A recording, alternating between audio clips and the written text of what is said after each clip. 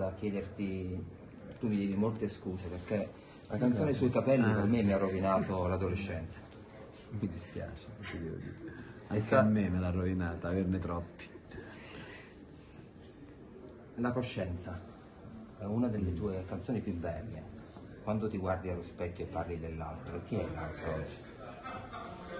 Ma l'altro è che chiunque, nel senso che la canzone non voleva essere una, una canzone sulla diversità più banalmente individuata nel, nel diverso per colore, credo religioso politico, insomma abituarsi a, a vestire i panni degli altri, anche i semplici vicini di casa, i nostri amici, tutti coloro che rappresentano la nostra vita, che hanno uno spazio nella nostra vita, che a volte la, la salvano e altre volte ce la complicano, quindi è un, è un invito a fare attenzione agli altri. ecco.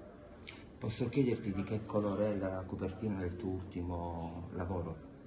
Sono due colori, un rosso e un, e un verde, tra l'altro abbastanza arrugginiti perché è una foto fatta in un faro in Africa, quindi il materiale era abbastanza già pieno di salsedine, quindi un- banalmente è, una- è un accostamento di due colori complementari, quindi di qualcosa che è apparentemente in opposizione ma che poi invece fa parte dello stesso orizzonte come in quel caso tradizione e tradimento che è il titolo del disco. Ti affacciavi da quel faro, guardavi l'oceano e dietro c'era, un altro tipo di umanità. Eh, sì, la, la cosa in realtà più così curiosa è che mentre le persone che stavano con me effettivamente guardavano sia l'oceano che, che mh, che il paese attorno, che peraltro è stato da poco, diciamo, quasi distrutto da un tifone, quindi era una situazione abbastanza particolare. Io in realtà sono stato attratto da questo piccolo dettaglio della vernice di questo faro che è un po' poi il, il ruolo che hanno gli artisti volendo, quello proprio di riuscire a, a scoprire dei dettagli dove mentre gli altri guardano altro e cercare di, raccontarli agli altri. Non è la prima volta per te a Teramo.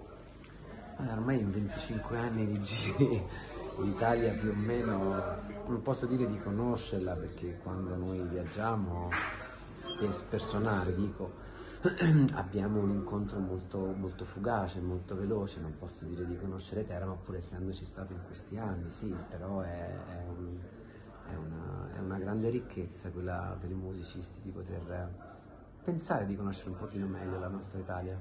Un saluto ai teramani. Eh certo, un saluto ai teramani e sono davvero felice, lo dico con eh, piaggeria, di suonare qui in, eh, in questa occasione che è un po' speciale perché io ho sempre un po' rifiutato la possibilità di suonare a Capodanno perché il, il mio repertorio, il mio stato, lo stato d'animo che comunico non, non- non si- confà molto ai festeggiamenti del 31 dove giustamente le persone vogliono distrarsi, ballare, eccetera. E quindi preferisco, io non andrei a sentire il mio concerto a quel 31 sera. Invece l'idea dell'amministrazione di fare un concerto il primo pomeriggio, dove evidentemente le persone hanno già un pochino sfogato il loro desiderio di festa e vogliono magari godersi un- un'oretta e mezza di, anche di ascolto, di, di parole di un certo tipo, mi dà la possibilità personale per voi, quindi sono, sono molto felice.